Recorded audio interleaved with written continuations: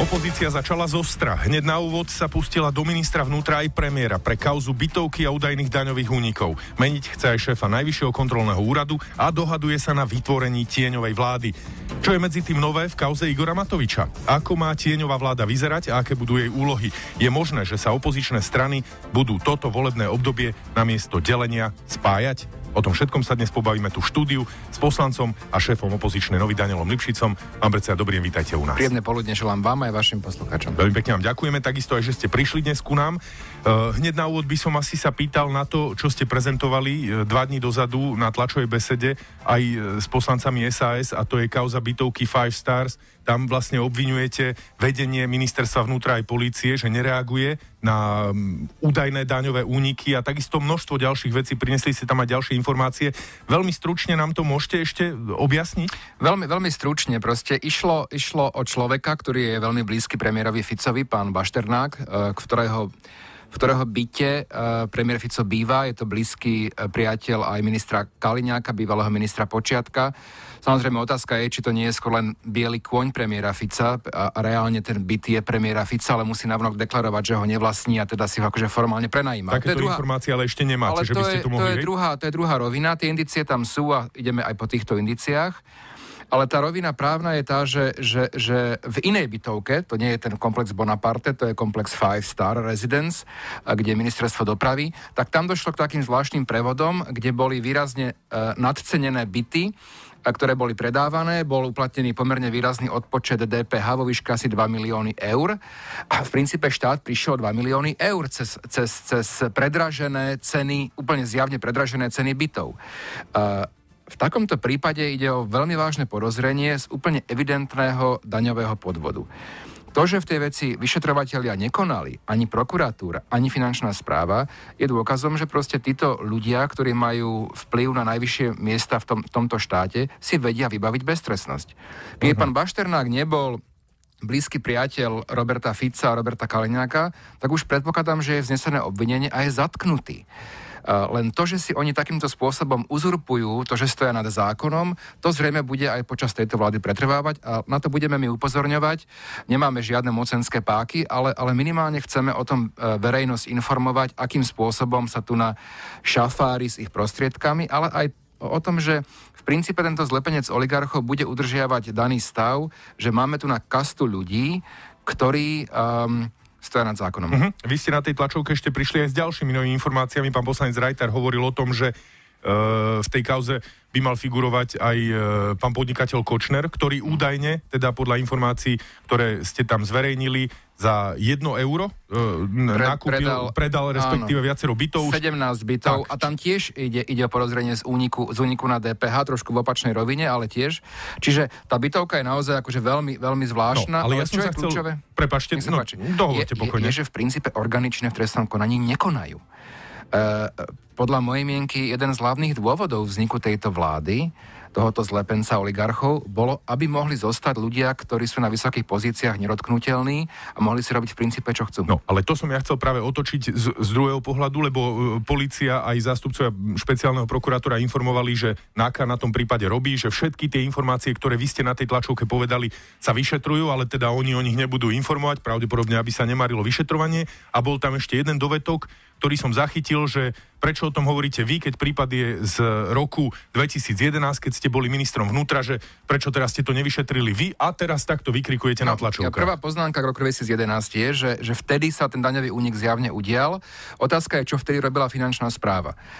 A bude možno, že v tomto trošku otvorený. Viete, aké sme mali za radičovej vlády problémy so šéfom finančnej správy? Myslíte za ministrovania Ivana Mikloša? Pánom Mikulčikom, áno.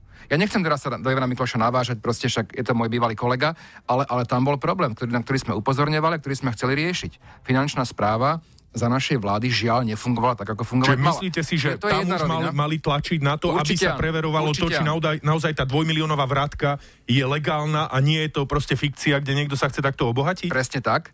A druhá rovina, na ktorú ste sa, na ktorú ste sa pýtali, no, e, policia tvrdí, že na, na, na, na veci pracuje. Moja otázka znie teda, aké úkony boli vykonané? Kto je obvinený? E, kto je zatknutý. Viete, e, e, pokiaľ mal niekto z opozície, aj môj kolega Igor Matovič, nejaké, nejaké problémy, tak tam nabehla proste NAKA, nabehli kukláči, robili prehliadky veľmi takým spôsobom demonstratívnym, invazívnym. Tu na proste ticho šúchajú nôžkami a tvrdia, veď my to nejako preverujeme. No dobre, ale to viete vy, lebo ja to neviem a častokrát novinári, keď sa obrátia na policiu, tak akurát niektorí z tých desiatok hovorcov povie, áno, toto my všetko vyšetrujeme, povedzme ako aj hovorkyňa špeciálneho prokurátora, má to v rukách NAKA a my sa k tomu nebudeme bližšie vyjadrať. Čiže vy máte tie informácie, že tieto Mám, úkony, napríklad áno, tie invazívne, neboli, neboli urobené nič? žiadne, neboli urobené žiadne, nie je nikto obvinený, nie je nikto zatknutý a v princípe áno, však to je taká tá mantra pomerne známa, že veď vyšetrujeme a potom sa to proste zametie pod koberec. No, to bolo a, za všetkých ministrov, a, to viete a, dobre. Sa nestal. No dobre, ale tam sa hovorí o tom, že, že dokonca na novo sa no, ten prípad pôvodný s tou dvojmiliónovou vratkou otvoril. Potom, čo boli zverejnené informácie čo, e, médiami a nami. Mm-hmm. A, a, a tvrdí, tvrdí prokuratúra a policia, že oni tie informácie doposiaľ nemali. Akože ich nemali. To novinári to znamená, že, že, že novinári, akože, to, je, to, je, to je absurdné. To je absurdné. Dobre. Samozrejme, čo mohli povedať, keď už tie informácie boli, bo, boli zverejnené, ale je to dôkaz toho, že tá trestnoprávna spravodlivosť sa na Slovensku do tejto vlády nepohne, práve naopak, proste bude, bude snaha udržať ten stav, aký je, že máme tu na kastu nedotknutelných. Predpokladám, že to budete sledovať podobne ako novinári z, z Trendu a z denníka N, ktorí práve aj s tými informáciami ano. prišli ano. takisto ďalej. My budeme o tom tiež hovoriť, ale už keď ste to aj načali, tak sa opýtam, v akom stave je kauza Igora Matoviča, ktorý teda pred voľbami musel čeliť e, obvinenia, musel čeliť e, policii, ktorá prišla e, za ním brať dokumenty jednak v lete ešte a potom teda aj tesne pred voľbami. Vy ste sa do tej kauzy vložili takisto. Hovorili ste teda, že ste jeho advokát, to stále platí v tej To stále veci, platí, ale Čiže tie veci zatiaľ sa nerobia, nerobia, nerobia žiadne úkony. A to je celkom zaujímavé, že pred voľbami to bolo treba veľmi rýchlo vyšetriť, robili sa aj tie invazívne úkony, prehliadky, vydávali sa dokumenty a tak ďalej. E, premiér robil tlačovky, čo, čo sa mi zdá byť, že je takmer na úrovni absurdity, pretože, pretože neviem si predstaviť normálnu krajinu, kde predseda vlády zvolá pred voľbami tlačovku na úrade vlády, a zverejňuje daňové dokumenty opozičného politika. To je proste podľa mňa absurdná situácia. Naviac, ak v tejto kauze niekto je mimoriadne podozrivý, tak je to Robert Fico. Robert Fico zverejnil daňové dokumenty, nelegálne. A teraz musím povedať možno, že jednu vec, ktorá, ktorú si možno, že ľudia lajci neuvedomujú. To je úplne jedno, ako sa k ním dostal. K ním sa mohol dostať, dajme tomu aj tak, že mu ich proste Archaniel Gabriel zniesol na stôl. Ako v princípe, že legálne. Ale to, že ich zverejnil, je trestný čin. A moja otázka je, vzniesol niekto už obvinenie Robertovi Ficovi? No to je skôr moja otázka na vás, lebo presne ja, to som ja, sa chcel opýtať. Ja, ja, som totiž, ja som totiž v tom momente sa rozprával aj s predsedom vlády, aj s Igorom Matovičom. Predseda vlády odmietol, že by sa do, dopustil e, Pozrite, porušenia daňového e, tajomstva. Predseda Igor Matovič si...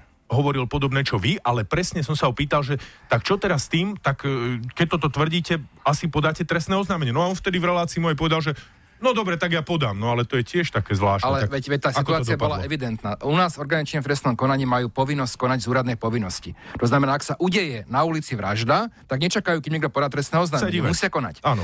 A tu na, tá situácia u, u Roberta Fica je pomerne jednoznačná. Ona si nepozná trestný zákon. Ale tá situácia je taká, že kto sprístupní dokumenty, ktoré tvoria daňové tajomstvo, dopustil sa trestného činu. Aj keď ich mohol mať z legálnych zdrojov. On ich sprístupnil, zverejnil. To je úplne evidentné. Čiže bola tam stíhanie. Z, z vášho pohľadu Uh, chceli, ste to, chceli ste to teda tomu pomôcť a potlačiť to aj vy a dali ste to trestné oznámenie na predsedu pokiaľ, vlády? Pokiaľ ja mám informáciu, tak zase informácia je z prokuratúry, že oni v tej veci konajú, začali trestné stíhanie vo veci, čiže netreba nič podávať. Čiže preto Igor Matovič vo vašom netreba, zastúpení netreba, nepodal, Netreba nič podávať, ale obávam sa, že to znovu úplne roztratená, samozrejme. Ale druhá rovina toho celého problému je tá, že, že neviem, ako dopadne kauza s, s Igorom Matovičom, či bude pokračovať taká, taká tá šikana orgánov v trestnom konaní, ale predpokladám jednu vec, a ja som už avizoval, že keďže mnohí e, politici dnešnej, dnešného zlepenca oligarchov vedia, že to je v princípe ich posledná šanca, že to je ich záverečná. A oligarchovia, ktorí stojí v ich pozadí, to vedia tiež. Vedia, že o možno o 4 roky, možno skôr príde zmena a už nebudú môcť stať nad zákonom, tak sa budú brániť. Budú sa brániť, budú kopať a ja očakávam, že sa budú snažiť aj kriminalizovať predstaviteľov opozície. S tým počítam, nie sme nejaké ľakavé typy, takže smelo do toho, uvidíme. Dobre, vy v každom prípade v, tom, v tejto veci ostávate právým zástupcom Áno. Igora Matoviča. Aj v mojich iných veciach, teda nemyslím Igora Matoviča, ale ďalších Dobre. veciach. Uh, nebudem sa vás pýtať, že koľko prípadov už ste mali, to je teraz otázka taká, že menej podstatná. Teraz mám Dobre, asi 15 momentálne. Vráťme sa, vráťme sa k veci. Uh, ešte tu mám dve otázky na vás, spomenul som to aj na úvod. Zakladáte nejakú tieňovú vládu v opozícii? Uvažujeme o tom. Uh, Má to vôbec význam? Uvažujeme, uvažujeme o tom. A, a skôr sa mi zdá, že by to možno, že mohlo mať význam v tom, že by sa v tej deňovej vláde objavili zaujímaví ľudia, ktorí nie sú poslancami parlamentu, Aha. ale vedeli by byť kvalifikovanými oponentami dnešných ministrov. Ja si myslím, že táto krajina potrebuje viditeľnú alternatívu, a, a jednou z možností je teňová vláda, ale nejako sa zvlášť akože neplašíme. Uvidíme, ako sa situácia trošku zastabilizuje a zrejme v priebehu niekoľkých mesiacov sa rozhodneme. Ja chápem, že médiá e, častokrát, však to je v poriadku, je to vaša, vaša úloha, chcú nové informácie. Máme 3,5 týždňa po voľbách. Čiže, čiže to by som povedal, ten časový faktor je no, takýto. Vidíte, na jednej strane máte 3,5 týždňa iba po voľbách, ale už tu máme informáciu, ktorou sme, ktorú sme otvárali aj dnešné správy a to je to, že strana Sloboda a Solidarita žiada vymeniť Karola Mitrika. Má vašu podporu v tomto? Vašich ľudí, Gábora Grendela, ľudí z, e, od Matoviča, v, v, opozícii, v opozícii sme kritizovali voľbu, voľbu pána Mitrika. To kritizoval vtedy aj Most aj, aj Most aj, aj zrejme predpokladám, že, že aj sieť dneska sú už e, celkom vysmiatí z toho, že Karol Mitrik je šefom Nie je to pre nich téma dňa jeho výmena. Ako, ako, to, to je pre mňa žiaľ šokujúce, že mnohé témy, ktoré, sme, ktoré boli tém, témami dňa, obchod Bratislavy, ktorý, ktorý je škandalózny, kauza Masera Kostku dneska pre našich bývalých kolegov z opozície, pána Bugára, pána Procházku, pani Žitňansku, nie sú ako, akože témou, ale na to nech si urobí každý názor svoj. Uh, v princípe si myslím, že dnešná, e, dnešný zlepenec nepustí uh, žiadnu kontrolnú funkciu. Nikde. Uh, tie také nápady, čo boli pri tvorbe koalície, že chcú, aby opozícia kontrolovala, to sú v princípe len slova. Ja som im aj povedal verejne v jednej televízii jednu vec. Ak chcete, aby opozícia reálne kontrolovala, vás čo budete robiť, dajte opozícii funkciu špeciálneho prokurátora.